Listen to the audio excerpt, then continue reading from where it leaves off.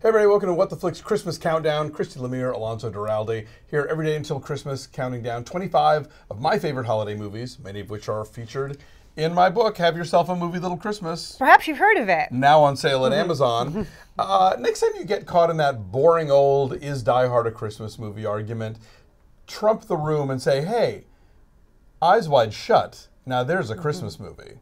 Take a look. You got a little stoned tonight, you've been trying to pick a fight with me, and now you're trying to make me jealous. You've never been jealous about me, have you? No, I haven't. And why haven't you ever been jealous about me? Well, I don't know, Alice. Maybe because you're my wife. I need a cloak with a hood and a mask. Okay, I think we'll find something for you. I suppose you'd like the password. If you'd like, sir. Fidelio. Thank you, sir. I don't think you realize the danger you're in now. You've been way out of your depth. You've got to get away before it's too late. It's so funny looking at this movie in retrospect because yes, it is a Christmas movie, but it's also Kubrick's last film, and there was Right. such expectation leading up to it. And then when it came out, there was such a, a sense of deflation, like, oh, we were waiting all this time for that, and it famously was. It remains the longest movie shoot ever. Yes. It's, it's a record. It was like a two-year long shoot, and I, I- people thought I think people thought they were going to see Tom Cruise and Nicole Kidman have sex. Right. Like that's how ridiculously outsized the notion of the, what this movie was going to be got Yeah, to be. because famously Kubrick was so secretive mm-hmm. and no one could know anything. And, and the stories that have come out since then, many of which were written by our great friend Amy Nicholson, who literally wrote the book on That's Tom right. Cruise. He devoted she devoted an entire chapter to Eyes Wide Shut, and just like. The way Kubrick would mess with them, like divide them and whisper in their ears so that when they needed to have tension on set, it was truly born of like paranoia that, you know, that he was just amping up because just, just to be a jerk, he would make them do like 95 takes of Tom Cruise walking through a door or, or whatever it was to, I guess, wear them down so that they were truly exhibiting, you know, Yeah. malaise, anxiety, whatever. Kubrick's a great director, a bit of a bastard. I'm, I'm, I will maybe never forgive him for what he did to Shelley Duvall, but that's a, that's a story for another day. Um, yeah. So, but but I think what's what's cool about you know if, if we've learned anything from was it Room 237? Was it Yes, the documentary about The Shining, You know, yeah. th- there's seemingly nothing accidental in a Stanley Kubrick No. movie, or at least there's a lot to be gleaned from what you see on the screen, whether it's in the corner or it's front and center. So, I mean, it is, it is inescapable that he wanted this to be a Christmas movie. Mm-hmm. Uh, you know, almost every scene is, you know, Nicole Kidman wrapping presents or, or people walking down the sidewalk and there's decorations or, you know, that party at Sydney mm-hmm. Pollack's house where the whole wall is covered in lights and that's mm-hmm. all happening like when they're, you know, dancing and flirting with other people and then Tom Cruise has to go revive the dead hooker and all that stuff, you know. Um, so yeah, Christmas kind of permeates the film, and of course now the question is why? Okay, well, here's why I think why. Because he wants to upend our notions of what is supposed to be a, a comforting and familiar time of Sure. year, the most wonderful time of the year. One might say. And and so you know, trying to disrupt us and Yeah. provoke us and get us out of our comfort zone. You know, marriage, a, a family at Christmas was seen like the safest and most reliable thing, and he wants to explore that as you know a potentially dangerous territory. Sure. That's my guess. No, I, I, I kind of I agree with you. I think we see a lot of films uh, where I talk about uh, horror films and, and, and action films in particular in the in the book where there's something about the sort of uh, assumed purity of the mm-hmm. Christmas season that sort of throws darkness into much sharper relief, mm-hmm. you know. And so if you are committing a string of murders or you are, you know, taking a Christmas party hostage or you are telling a tale of a, a dark marital problems, you know, yeah, putting it at Christmas mm-hmm. time just makes it seem all the more like unhealthy Yeah, somehow. the lights take on a sinister tone, a, a sense of foreboding. I mean, the way Kubrick would light things, of course, everything is symmetrical, and the walls seem to be illuminated from within, and Right. that, that seems almost claustrophobic and kind of and kind of tense. Um, this this year, um, the killing of a sacred deer came out, and I Mm, thought a lot about Eyes Wide Shut while I was watching it because of of the way that Yorgos Lanthimos will use the space and the precision of the symmetry of, of a particular setup and the the lighting in in there. And it's Nicole Kidman again, Yeah. wearing her eyes wide shut hair, her ringlets. Yeah, and, the, and the same sort of like you know beige mm. kind of like sleepwear. Yeah. it all felt familiar. Yeah, but again, like the house, you know, when, when Barry Keoghan comes into the house and like again is a disruptive force there, the lights which would seem warm and comforting are actually kind of evil in that film, which I think goes back to Eyes Wide Shut.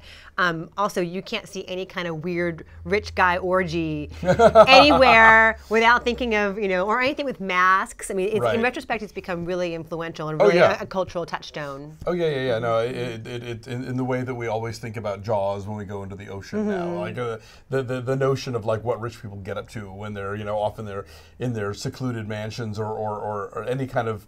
Yeah, uh, you, or you know, you hear about some like Italian prime ministers, you know, crazy orgies or whatever like that. You always go to Eyes Wide Shut. That's the that is the touchstone, and and I and I think the the whole the kind of Christmas motif. I mean, runs all the way to the very end of the film. The sort of the famous Nicole Kidman last line in the middle of a toy store. you know, this which with the, the most sort of innocuous and kid-friendly place on earth, and she says what she says, and it's like okay. So it, it's that one last uh, sort of jolt of of um, you know sort of wicked Messing with us. adult you know uh, sexuality in, in, a, in an innocuous season. Um, I wonder if, it, again, like looking back at when it came out and the way it was received when it came out, I wonder if anything could possibly have met our expectations for a final Kubrick film. And and with, with then arguably the two biggest stars on the planet who Sure. were married to each other, then I wonder if anything could possibly have met that. And I wonder why now, in retrospect. Does it seem so much better? Is it just like that's always the case with Kubrick films that they're not appreciated in their time? I remember when I mm-hmm. saw it, I was like, well, that was okay. Yeah. I'm going to look at this again in 10 years and I'm going to look at it in a totally mm-hmm. different way. And and yeah, I think I think he does he is always sort of ahead of things in a way and uh, a lot of movies you you either need to kind of sit with them for a while or the the the, the rest of the culture catches up to them or mm-hmm. something. But yeah for the most part you know uh, certainly 2001 has had its own mm-hmm. ups and downs where people thought it was you know pretentious gibberish and now they realize that you know what mm-hmm. it's uh, really about and that kind of thing. I think Full Metal Jacket too. You look back and you see like the, the urban warfare half of it, especially, is very influential Totally. still to this day. Although again, the, the urban warfare thing reminds me of the the one shortcoming I would say of this film is that because Kubrick refused to fly and refused to come back to the United States and refused to make this movie mm. in New York where it is set, Right.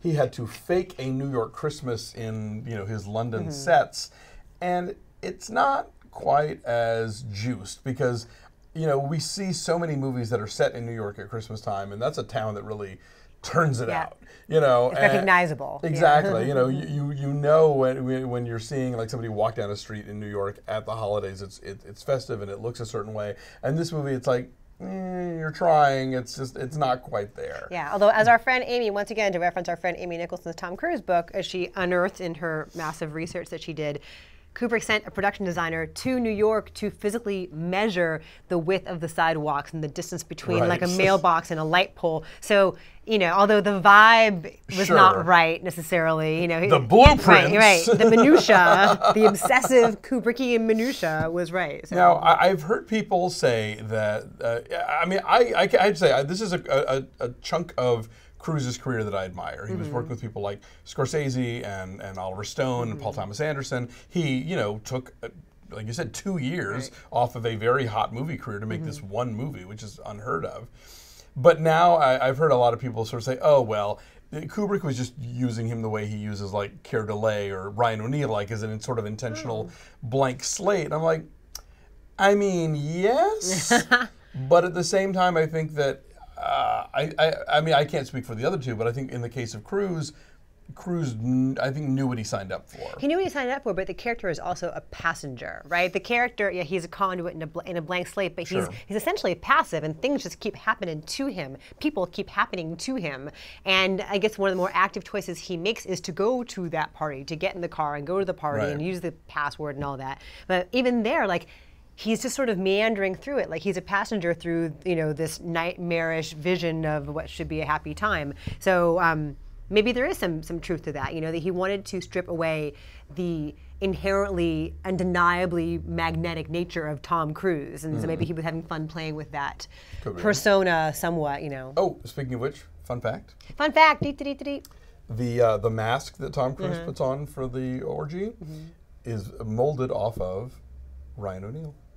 Oh. He's wearing a Ryan O'Neal mask. Why Ryan O'Neal. I wonder? Barry Lyndon. Oh, very good. Yes, that had not occurred to me. There you go. Nice. So yeah, fun and a uh, fact. It's a movie I dig, and it's a Christmas movie. So again, let, let's let we've we've done the Die Hard conversation, and we'll be covering it in this series. Rest assured. But like, let's let's talk more about Eyes Wide Shut and why we aren't recognizing it as the Christmas classic that it is. Anyway, thank you all for watching. Thank you, madam. Thank you. And uh, we're here every day till the 25th. Come back and see us. Merry Christmas. Bye.